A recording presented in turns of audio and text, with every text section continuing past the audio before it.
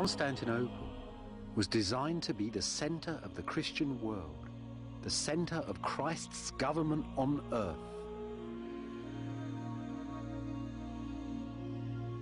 These great cups were made to hold the mystery of Christ's blood inside the city's churches. Churches glowing with Roman gold and ancient holy images. Images that for a thousand years flooded right through Europe and the East.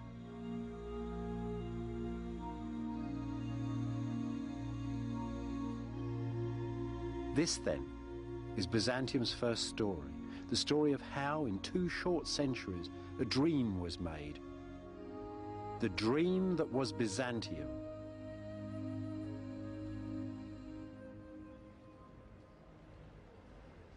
Constantine, the Christian emperor, the man who took the faith of Jesus and the God of Abraham and created the beginning of the governments and churches in which the West still trusts. He was crowned, they say, at York in England in 306. For 40 years, he had killed foes and family alike, and when he died, people were so frightened of him that no one touched his body for a week. This was the extent of Constantine's ambition. The late Roman Empire, with Constantinople, not Rome, as its capital. And in the far north, in Germany, the city of Trier, a great imperial garrison. It still shows something of what ancient Constantinople used to look like.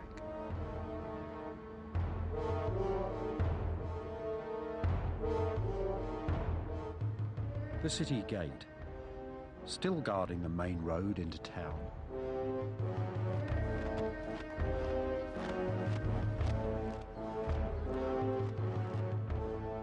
Great grim gate.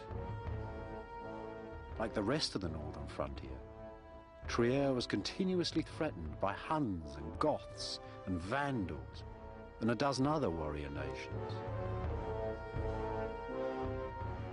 Constantine the Great, the emperor himself, would have walked down this same passage 1600 years ago.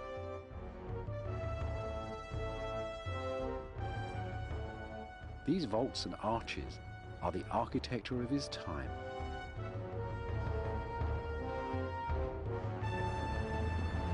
Once you're through the gate, central hall of government, great Constantine himself would have sat, where now the altars of Christian churches stand, because this is basically the same building. In the year 360, Constantine's son built a magnificent church at Constantinople, especially for the drama of imperial communion. Next door, those same pious emperors built a giant racetrack, the Hippodrome. You can still see part of its outline in the streets. And here at last, around this old Egyptian obelisk, you can discover something of the atmosphere of ancient Constantinople, the heart of old Byzantium. This stone's like a giant mirror, reflecting all the life that once went on around it. There's the emperor and his family, Constantine's successors, come to the royal box to start a chariot race. There's the obelisk in the middle of the racetrack, and the chariots too, eight of them running all at once. You'd need a lot of luck to win. This place wasn't just a racetrack though. This is a place where people met the emperor and his court. It's the air, the space of Byzantium. A hundred thousand people roaring as new emperors are presented to them, as captives from foreign wars are brought and thrown at the feet of the emperor. It's the old parliament. It's the real heart of Byzantium. And that scene there, have you seen it before? Look at it carefully. The emperor's in the middle with his family just like God. Around them stand the army and the court, just like the saints. Beneath them, begging mercy, are Byzantium's enemies, the damned. It's a grand last judgment right here on earth with the emperor playing God. So that's it, really. The emperor brings happiness and harmony. The theatre brings luck and victory. This is the centre of the world, an image, you might say, of heaven on earth. So if we'd have pushed open the gates of the imperial palace that once stood beside the hippodrome, we'd have really been opening the earthly gates of paradise.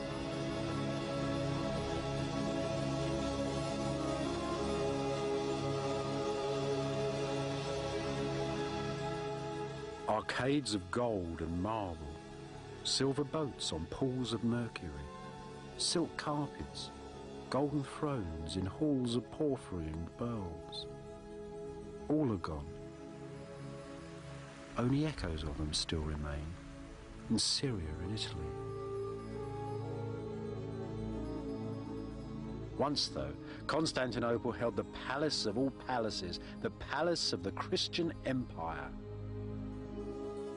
Church, hippodrome, and palace Constantine had made a sacred engine that would power Byzantium forever.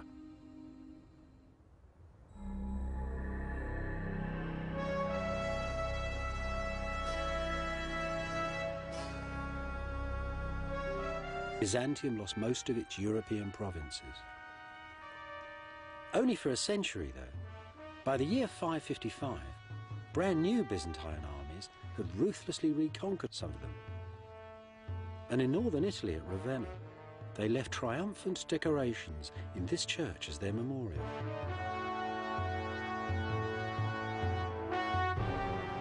The man there is Justinian, the emperor who 200 years after Constantine completely remade the Roman Empire. The man who made Byzantium.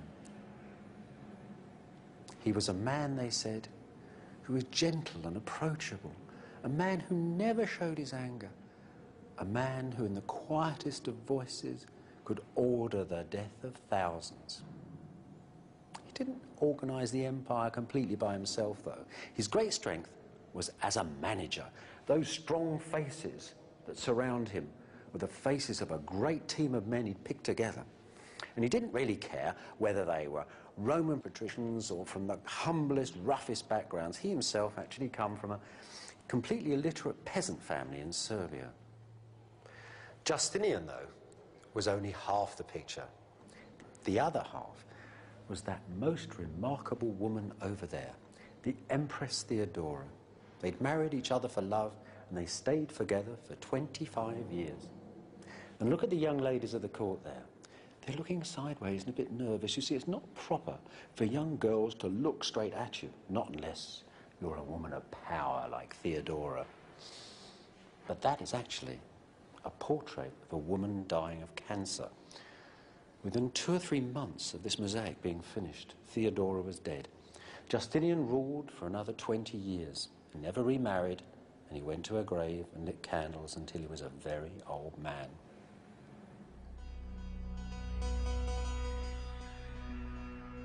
Though Justinian and Theodora restored the Roman Empire, this was no longer the ancient classical world. They lived in a different age, spoke Eastern Greek instead of Roman Latin, and viewed the world in very different ways.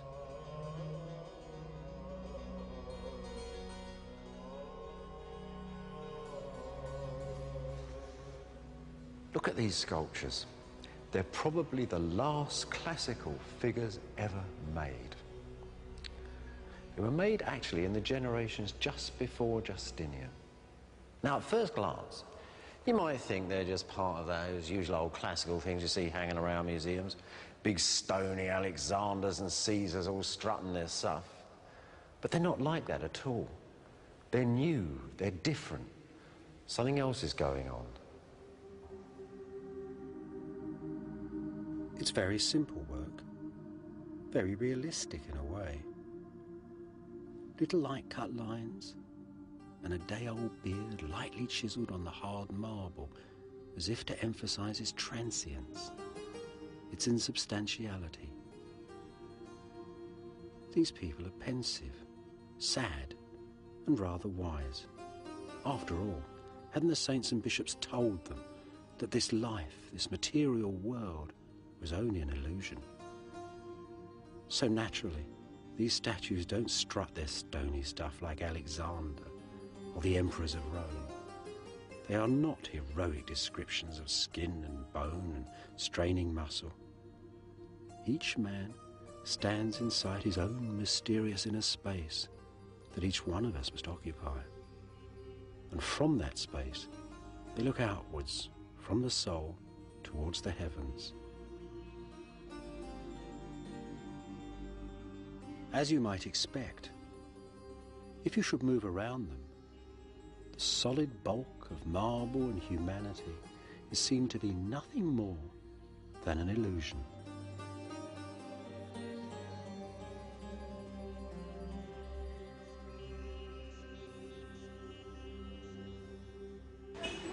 Palace was made for some of Theodora's favourite priests. It was probably the work of one Anthemius, a famous physician and mathematician. This was where the style began.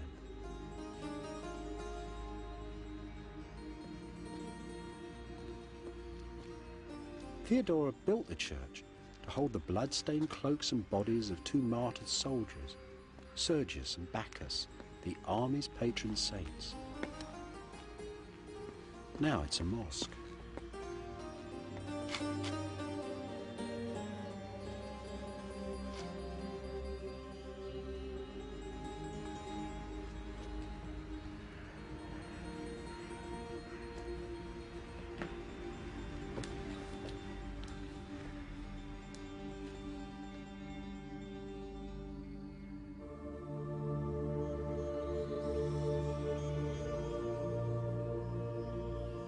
Anthemius' subtle compass has transformed all the usual ancient forms.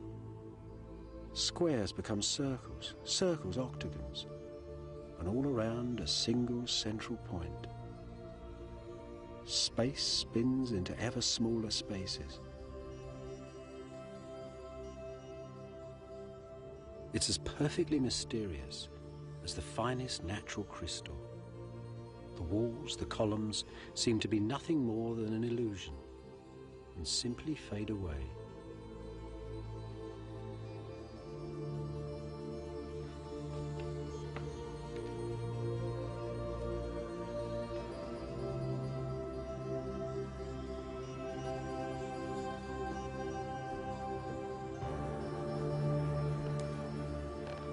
Just look at that great big glorious dome, like a huge melon, divided into 16 sections and held by eight wonderful swinging arches on those extraordinary V-shaped pillars and 28 columns through the church.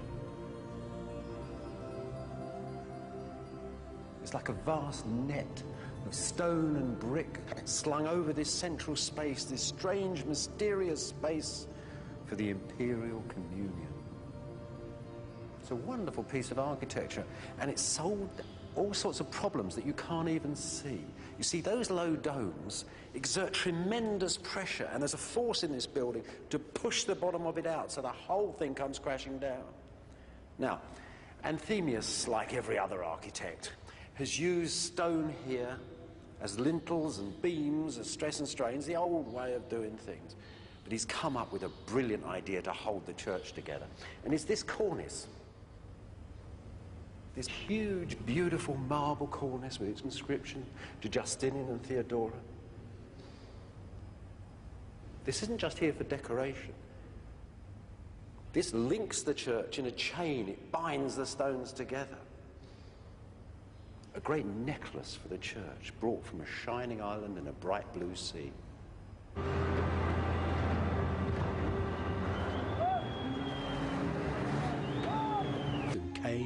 To the holy city of Byzantium to be gathered up upon the site of the imperial communion. This is the finished dream, the tense climax of all of ancient engineering. A lively frame, built with prayer and pragmatism to hold the largest dome the world had ever seen. This, though, is just the outside of a sacred Inside a forest of columns rises up in ecstasy. The walls, glass and gold and marble, light and dark, insubstantial and illusory, seem to simply fade away.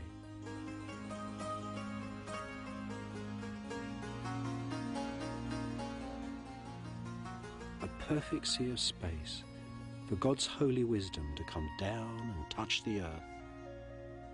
A perfect theatre for the anthems of Byzantium. Lo, the lords of heaven and earth have come.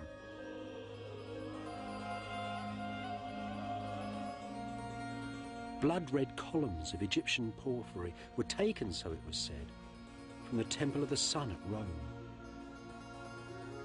The church's wooden doors from Noah's Ark. The building's bronze was stripped from the temple of the goddess Artemis, one of the seven wonders of the pagan world.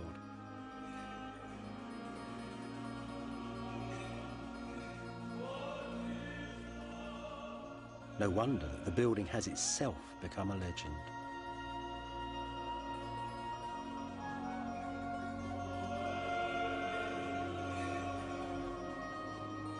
Poets said the church combined the size of sunset and the scale of quarries. The hues of birds and fish and precious stones. All the textures and experience of that ancient everyday the living pink of baby's fingernails, the rising of the bright red star Arcturus.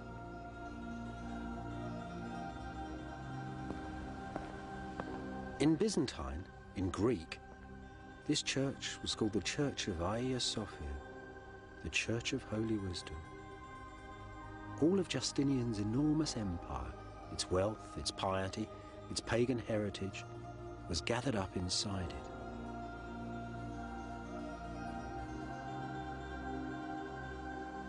Throughout the next nine centuries, this vast old building stood right at the centre of Byzantium, a symbol of its true destiny on earth.